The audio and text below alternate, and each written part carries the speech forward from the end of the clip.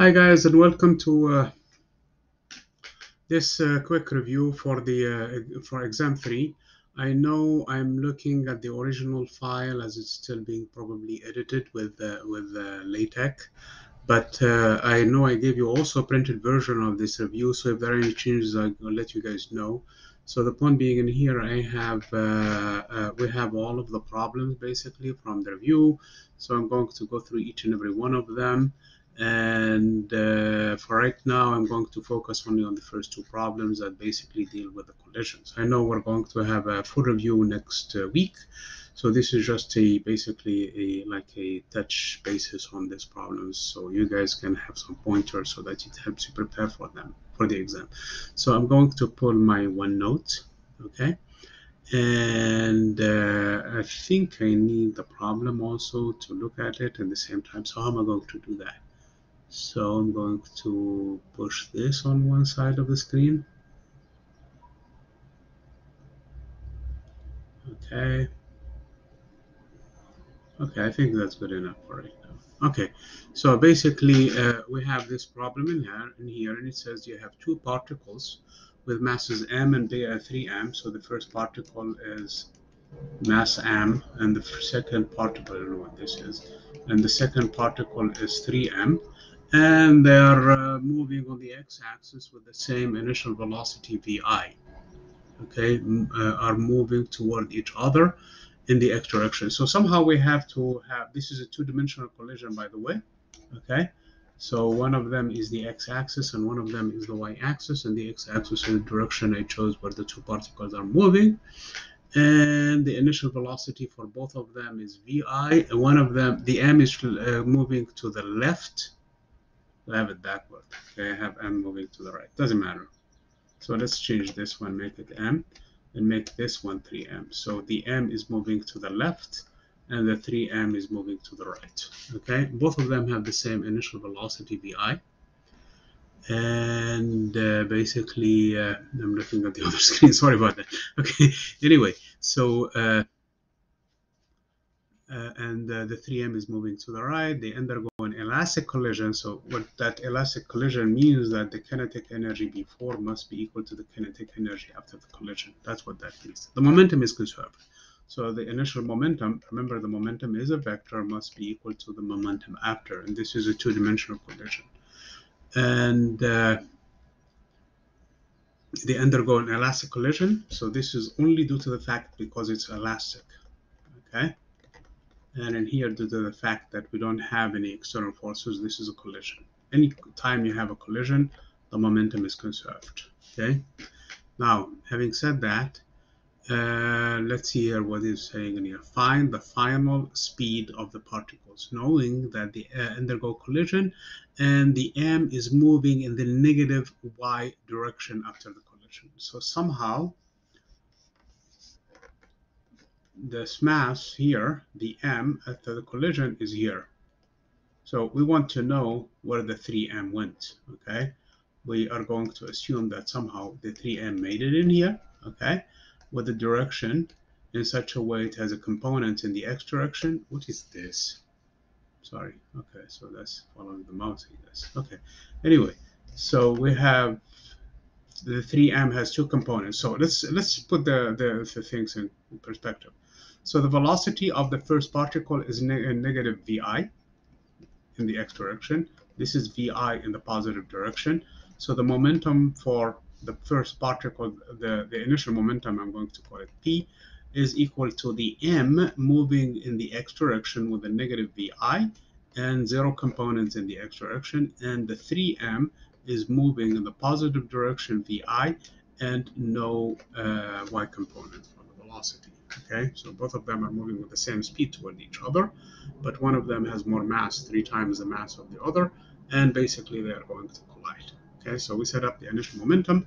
But the final momentum we know is going to involve the mass m that has zero components in the x direction, and it has a negative v1 prime. Okay, oops, I'm going to call it that way. And uh, that's the first mass. Okay,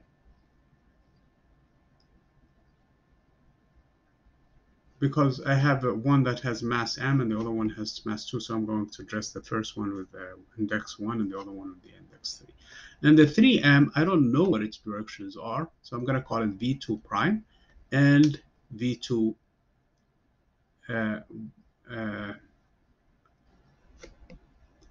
I should call this one v2x direction and v2y direction prime. Okay, just the primes usually are uh, they're not going to be needed honestly in here. Okay, I'm going to remove them immediately after we set up the problem.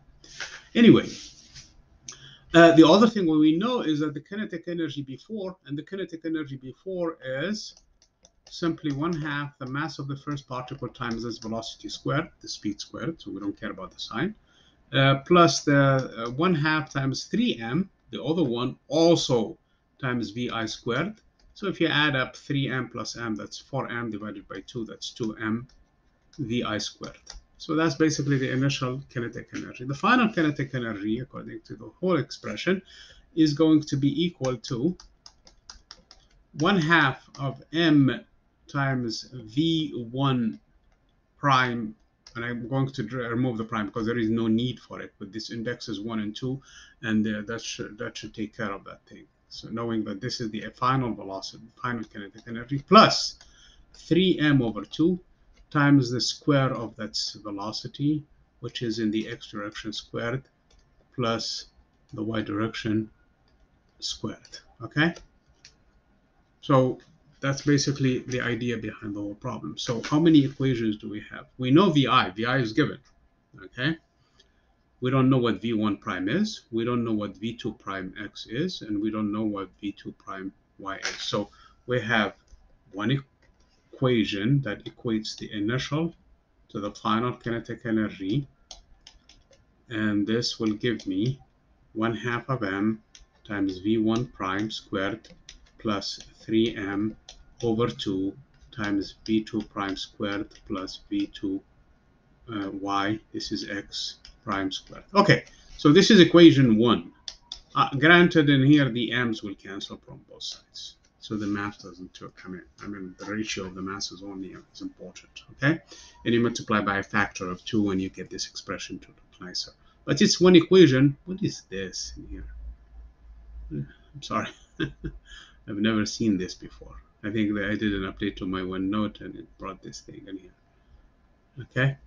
Let me remove this one too the way. Okay, move it to the other screen. Anyway, so uh, this is one equation with three unknowns. Remember, we don't know the value. Yes, we know the direction of the, this velocity, but we don't know its value, and we don't know this value, and we don't know the value. So we have one equation, three unknowns. We can't solve this. We need two more equations. The second equations are involving the momentum. Remember, the initial momentum must be equal to the final momentum. And here, the initial momentum involves only the uh, this vector p must be equal to this vector t. That means the x components of this vector must be equal to the x component of that vector. And the x component in here is m times negative vi plus 3m times positive vi. So this initial momentum is actually equal to p is equal to m as a common factor. And I have uh, negative vi plus 3 vi. Those that's 2 vi's and 0. Okay, so this is the initial momentum. The final momentum, again, I'm going to write it in terms of the momenta. I mean, in terms of the as a vector. So I'm adopting for some of you what is known as a matrix representation of the vector. It's kind of a little bit condensed. Otherwise, you're going to involve in the i hat and the j hat if you are uh, not too comfortable with this representation. Anyway, so I have zero plus this number. So uh, the I'm going to pull the m out too. So I have 0 plus 3 times this component in the x direction. So 3 times v2x prime. And then I have uh, negative v1 prime plus 3 times this vector. Both of them have the m out. So negative v1 prime plus v2x prime. So v2x, uh, three of them, v2x prime. So this is my second vector. Okay, so these two vectors, they must be equal to one each other only and only if uh, their components are equal to one another. So here comes the second and the third equation. We have, first of all, the m's cancel because the two vectors are equal, so the m's cancel. So at the end, we're going to end up with 2vi equals to 3v2 x prime. So we solved one equation already. This is equation 2 it's already a solution for one of the velocities. So we know from the get-go what this velocity component of the second particle is. Just two-thirds of vi, whatever the vi is. Okay, so this is already a solution to that equation. It's just the other one that is going to be a little bit more uh, involved. So the x component again is zero. Actually, it's actually solution 2 So zero must be equal to uh, no, no, never mind. Okay, so it's equal to negative v1 prime plus 3v2x, v2y, I'm sorry. This is the y component of the second particle. So this is equation 3, okay? So this is already solved. So we know the x components of the second particle, how fast it's moving. And I know I drew this second particle going in here, but I gave it some generic generic components in here, so that means that any value is going to be fine. Okay, so if it turns out to be negative, so be it. So in other words, it could be um, bouncing back, okay, or it could be going this way. So we don't know. But from clearly from this equation, v2x prime is positive, so it could only be in the second or the third quadrant. I mean, the first or the second quadrant, only above the x-axis, because sorry, never mind either the first or the fourth quadrant. That's when the components of this v velocity is positive. So it's either here or here, okay? Technically, it should not really be going in here, otherwise there's an imbalance momentum. So this is a correct place. So it's going to be most likely in the first quadrant. Okay, so v2 prime also should be positive. That's what I'm trying to say. So we solve this to v2 prime in terms of v1 prime, and we have v2x prime. We go back to equation 1 and replace the value of v2x prime using this expression with vi. We're replacing the v2 prime with the vi prime, collect this v1 prime with the term that is going to appear in here in v1 prime, and solve for v1 prime. Once we find v1 prime, we'll come back to equation 3 and solve the v2y prime. I hope that's clear. I mean, I described the steps, so hopefully you guys can finish this problem okay? And then at the end, it's asking you what's the angle with which this is going to go, angle theta. It's simply equal to the arc tangent of Vy prime over 2 dx prime. So theta is the arc tangent of the y component over the x component of this merging particle. So what is the angle theta? at which particle 3m is scattered, you can find it from there. So I hope that this is a good start for you guys to finish for this problem. Okay, how are we doing on time? We still have so 13 minutes, so let's finish this. So part two, okay, problem two, I should say. Now it says a, a, half kilogram sphere moving with a velocity, and it's a vector velocity, so it's in the i hat, j hat, k hat. So I'm going to flip it into a matrix representation. Uh, meter per second strikes second particle with a, this velocity. With an initial uh, velocity is this much so this is the mass one and a half kilogram. The velocity of the 0.5 kilogram so this is a three-dimensional problem collision in 3d okay? After the collision is this so we're going to uh, find the final velocity of the 1.5 particle so here is what i'm going to say. The initial momentum is equal to the final momentum. And it's a vector. So what we have is I'm going to assume that the 1.5 kilogram has a velocity x, y, and z. Okay, I know usually x and y and z are for the position coordinates, but short of writing vx, vy, vz, you just write x, y, and z. They're just no, they're going to be in meter per second. They're not going to be in meters. And by the way, you could drop this primes from the previous problem. They're not needed. Okay, so this is the 1.5 kilogram. The other particle we know after the collision, so this is after.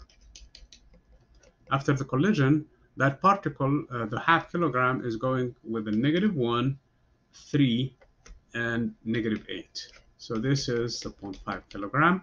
Before the collision, what did we have?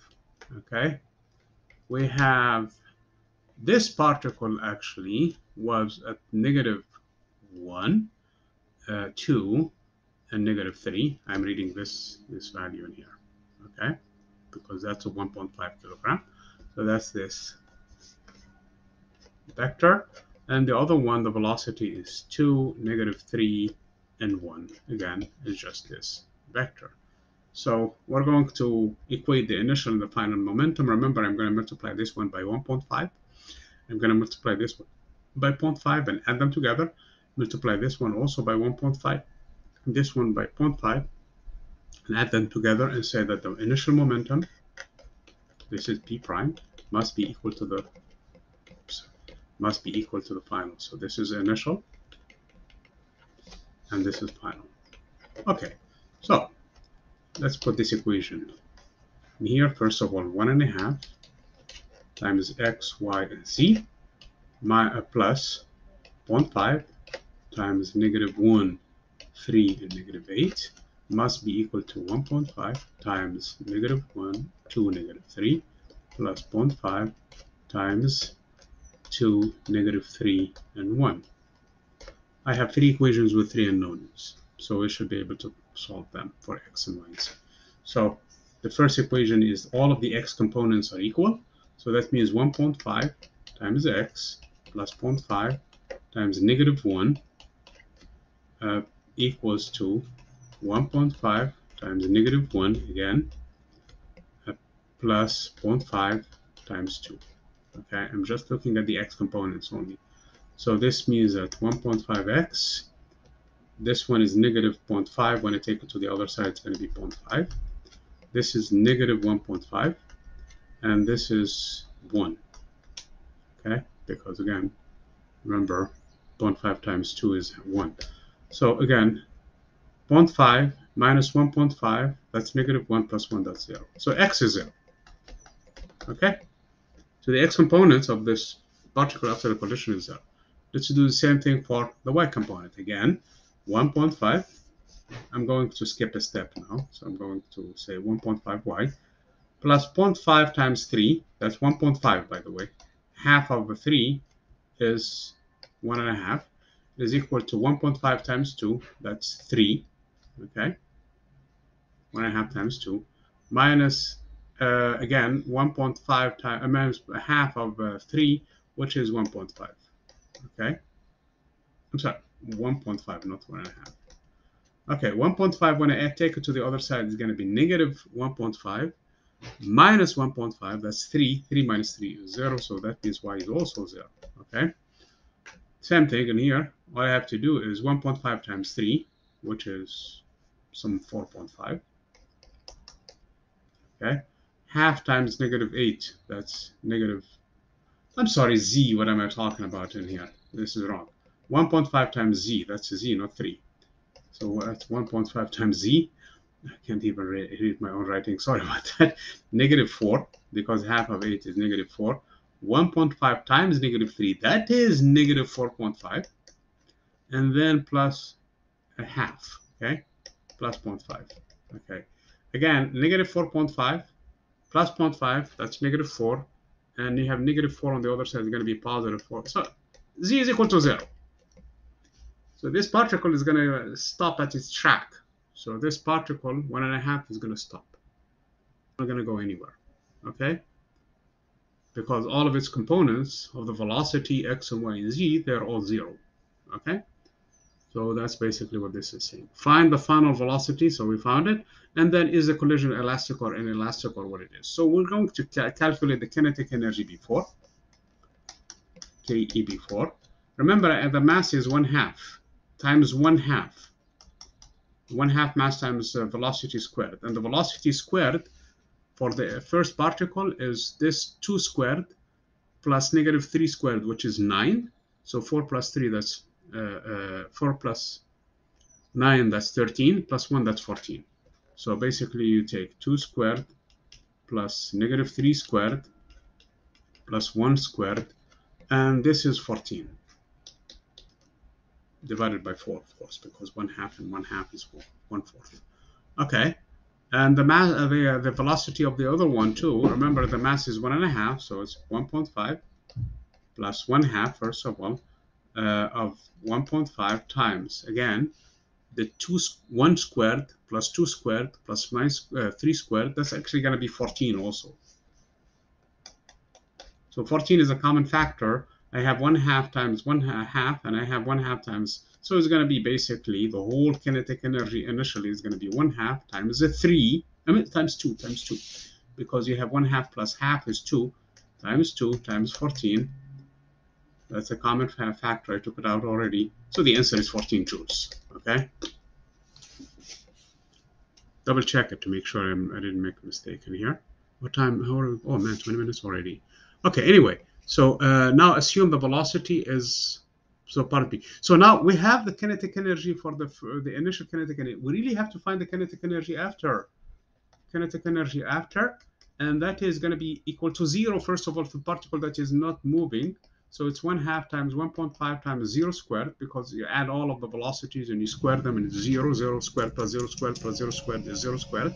So the whole thing is 0 plus 1 half times 0.5 times its velocity, its kinetic energy. And kinetic energy is negative 1 squared, which is 1, plus 9, that's 10, plus 64, that is 64 and 10, that's 65. It's clear that the kinetic energy after is not the same as the kinetic energy before, so the collision is inelastic. Okay? Oh man, there's too much noise. They're going to be cutting the gas. So I'm going to speed up this thing. Now we're going to do the same thing in here. So it's the same similar steps, except the 0.55 particle is in here. So you're going to do the same calculation again, and you're going to check the final and the kinetic energy. If they are the same, it's elastic collision. If they're not the same, it's an elastic collision. As a matter of fact, if they have the same velocity, they're stuck together. So that would be a perfectly inelastic collision.